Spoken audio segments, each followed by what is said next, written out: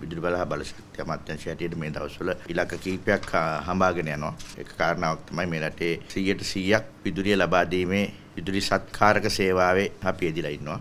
බලශක්ති උත්පාදනය පිළිබඳ අපි විවිධ ආකාරයේ කටයුතු වල යෙදෙනවා. පිරිවැය අවම කර ගැනීමේ සටනේ අපි ඉන්නවා.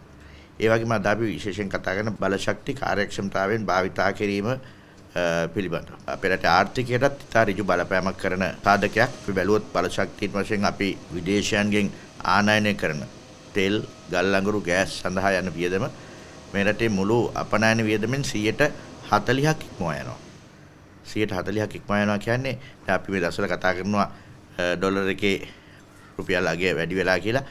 ඒ එවැනි සියලු කාරණාවලට මේ 140ක අපනයනය සඳහා වූ වියදම බලපානවා කියලා ඔබතුමාලාට තේරෙනවා. ඒ නිසා අපි දැන් උත්සාහ කරන්නේ මේ කතා කරන්නේ මේ බලශක්ති කාර්යක්ෂමතාවයෙන් භාවිතා කිරීම ඇගීමට ලක් කිරීම පිළිබඳ වූ සම්මාන උළෙලක් ගැන තමයි අද අපි කතා කරන්නේ.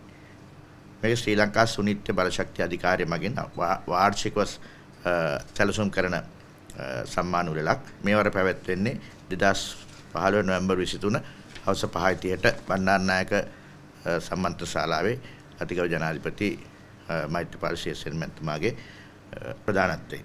මේකට අපි රාජ්‍ය සහ පෞද්ගලික ආයතන සියල්ලම සම්බන්ධ කරගන්නවා.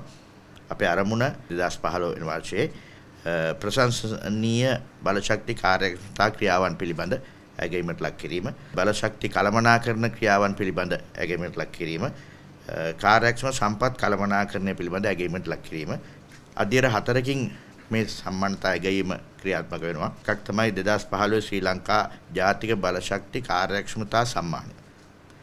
දෙක බලශක්ති සේවා සමාගම් සම්මානය. වසරේ බලශක්ති කළමනාකරු. හතර තිරසාර බලශක්තිය උදෙසා ජීවිත කාලින් දායකත්වය ඇගීම. මේ කාරණා විශේෂයෙන්ම ජාතික බලශක්ති කාර්යක්ෂමතා සම්මානය අංක 1ට කියපු අංශ 15ක් යටතේ ශ්‍රේෂ්ඨ තුනකින් ඇගීමට ලක් කරනවා. ඒ කියන්නේ සියලුම ශ්‍රේෂ්ඨයන් මේ යටතේ මේ ආවරණය වෙන පරිදි තමයි මේ කටයුත්ත සංවිධානය කරන්නේ.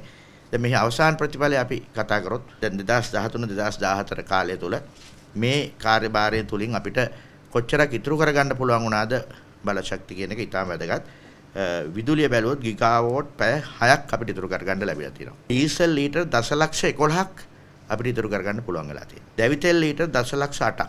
දර කිලෝග්‍රෑම් 20 ලක්ෂයක් ඉතුරු කරගන්න පුළුවන් වෙලා තියෙනවා. ඒ 2013 2014 වර්ෂ. දැන් මේ 2014 2015 වර්ෂය බැලුවොත් විදුලිය ගිගාවෝට් පැය 9ක් අපිට ඉතුරු කරගන්න පුළුවන්. දින දැවැන්ත ප්‍රමාණයක්. දැවිතෙල් ලීටර් 20 ලක්ෂයක්. දර කිලෝග්‍රෑම් 80 ලක්ෂයක් අපිට ඉතුරු කරගන්න පුළුවන් වෙලා තියෙනවා. ඉතින් අපේ අවසාන ප්‍රතිඵලය අපි සංඛ්‍යාත්මකව කිව්වේ විස්තරාත්මකව කිව්වොත් යහපත් ක්‍රමෝපාය කාර්යක්ෂම උපකරණ ප්‍රතිස්ථාපනය විදුලි බලය මෙන්ම තාප බලය යොදා ගන්නා නව අත්හදා බැලීම් බලශක් කාර්යක්ෂමතාවය වැඩි කර ගැනීමටත් පරිභෝජනය අඩු කර ගැනීමටත් අපි බලාපොරොත්තු වෙනවා. පරිසරයට හානිකර අපද්‍රව්‍ය බැහැර කිරීම අවුව කරන පරිසර හිතකාමී බලශක්ති වැඩපිළිවෙලකුත් අපි මේ තුලින් යන්න බලාපොරොත්තු වෙනවා. ඉතින් මේක අපේ 2015 2025 අපේ සැලැස්මටත් මේක ඉතාමත් අනුකූලයි.